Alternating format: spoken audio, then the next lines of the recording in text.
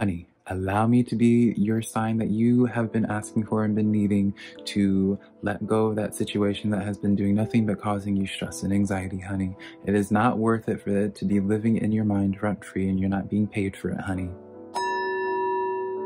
Hey girl. Hello, my beautiful Libra. How are you doing? My name is Simply Velca, and today I'm going to be doing your bonus weekly or daily uh, tarot reading, depending on how you receive this reading, Libra.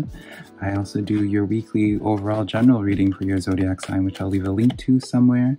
Those readings are a lot more in depth if you want to check that out. But when it comes to any of my readings, be sure to rely on your intuition because my readings are here just to provide some food for thought, Libra, the perspective to consider, but never making the choice in your life because it's your life to live, not mine. Be sure to give this video a like and subscribe, Libra, if you do enjoy this reading. Be sure to let me know also in the comments below which tarot cards resonate with you and how they do, because that's how I keep up with you guys, is through the comments, of course, Libra. So uh, let's just get into your bonus reading now, Libra. All right, my beautiful Libra, let's get into your reading now. Let me show you these cards again one more time.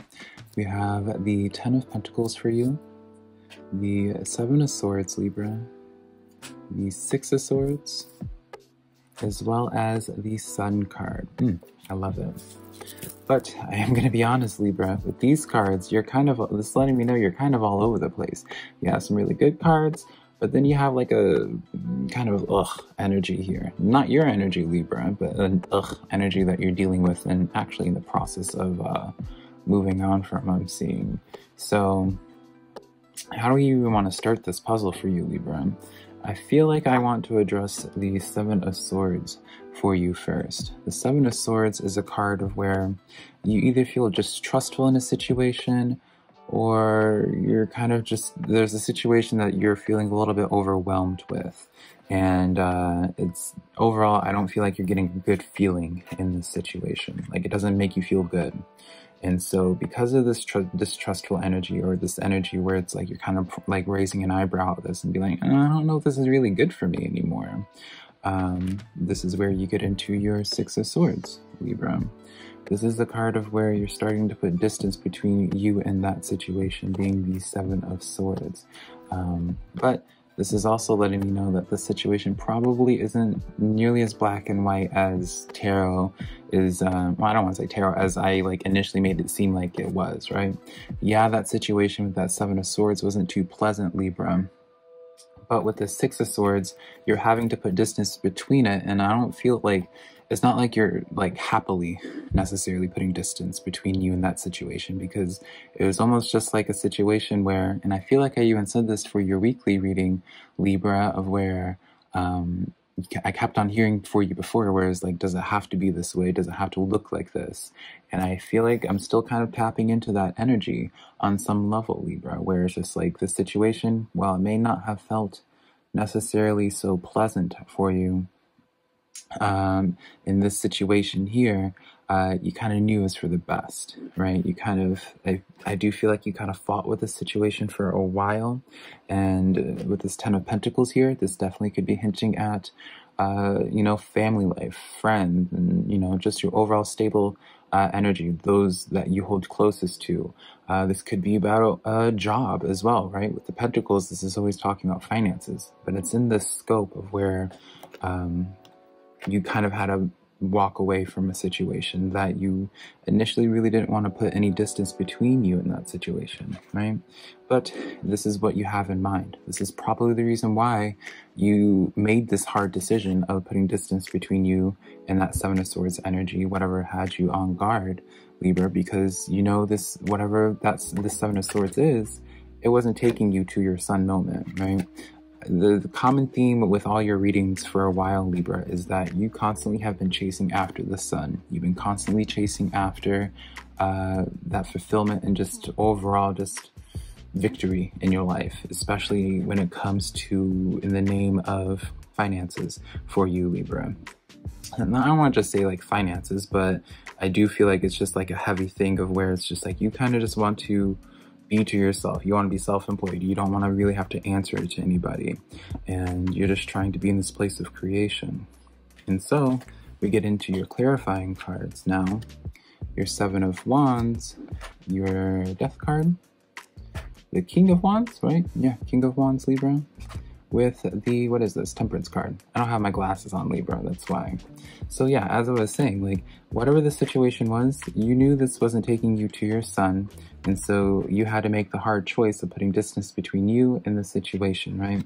Again, I do feel like it was partially a, like it was a hard choice for you to do because I feel like at one point you kind of associated all your stability with it. You associated like your happiness with this. You felt like you could rely on this, right? That it wouldn't fail you. And so when you kind of had to accept the fact that it was over, putting distance between it, the death card, honey, right? This is when you finally close off the situation, Libra. This is when you finally just stop almost just trying to make it work with this situation here. I do feel like once you put distance in it, you're going to be quite surprised by like how all this like extra energy that you have to put into other things really starts growing something so beautiful for you. Seven of Pentacles, this is the seeds that you already have been tending to, Libra. So this lets me know that, I mean, yeah, I don't feel like a lot of you guys are going into like a new project necessarily. This kind of feels like something you've been working on for a while now that is probably attached to the sun right? And so you're just now putting, again, distance to put more energy into this because this energy here wasn't conducive to this, right? And so um, then continuing on with this, you have the King of Wands with the Temperance card coming in as the finalizing tarot message, Libra. You know, this is a situation where it's just like that phase ended for you, that death card, right? When you put that distance, as you continue uh, tending to these seeds, you're going to have your time of harvest really soon, Libra, now that you're able to put more energy into the situation rather than that Ten of Pentacles. Isn't it kind of funny though, Libra, when you think about it, of how it's like you're, you're kind of like putting distance between you and Ten Pentacles to from a numerical sense, downgrading into a Seven of Pentacles, right? This probably feels more like yours, right? Maybe the situation that you're leaving before, it didn't truly feel like yours or you true, like, you know, maybe it was like a, like, it's kind of like a vibe where it's just like you're living in a house, but it wasn't really like your house. You know, your, your name wasn't really on anything. This has your name all over it, Libra. there's no other energy involved with this, right?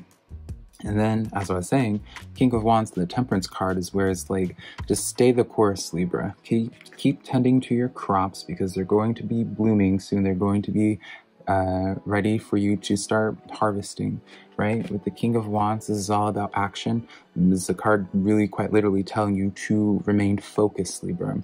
Uh, this is a card to just continue going forward, tending to your passions, right? Because fire energy with that wands. It's always about that passionate, ambitious energy. And then you have the temperance card coming in here. It's just like your time is coming. This is the this is the divine timing card, Libra. This is where it's like all things are going to be happening at the right time, right? And when it's attached to this heart, your crops, right? I mean, card, it's just such a beautiful message for that, to Libra. So now, let's get into your Moon Oracle message uh, for this week before we close out this bonus uh, weekly or daily reading for you, Libra. Overall, what I would just say is just stay the course. There's definitely, if you haven't transitioned from the Seven of Swords in your life, Libra, and this, I kind of suspect this might actually deal with a few things, Libra. This might not just deal with one specific situation. This could be just like you putting distance between things that just have you feeling overwhelmed, you know, and just needing to clear your plate a little bit. This could be a situation where it's just like you identifying just the numerous amount of things that just don't make you feel necessarily all that pleasant that you're putting distance between, right? It's just an overall sense of put distance between you and that Seven of Swords, and then reallocating your energies into that Seven of Pentacles, and it's going to um, it's going to uh, reward you in tenfold. I promise you. So your Moon Oracle card, Libra, is the full moon in Pisces. Balance spirituality with practicality. So definitely at this time, Libra, do not